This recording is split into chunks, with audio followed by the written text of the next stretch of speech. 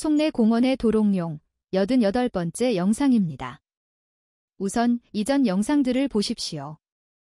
특히 사냥감 쟁탈전을 다룬 47번째 영상과 62번째 영상을 보십시오.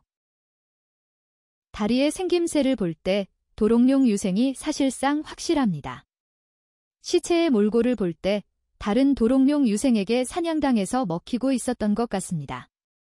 삼키다가 토해낸 것일 수도 있고 삼키다가 사냥감 쟁탈전이 벌어져서 빼앗긴 것일 수도 있을 겁니다.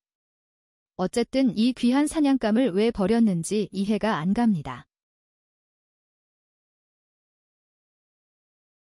게다가 도롱뇽 유생들은 이 시체에 관심이 없어 보입니다. 그냥 먹으면 될 텐데 왜 안 먹는지 모르겠습니다. 소금쟁이들이 이 시체를 잠깐 먹고 가는 것 같은 장면을 촬영했는데 정확히는 모르겠습니다.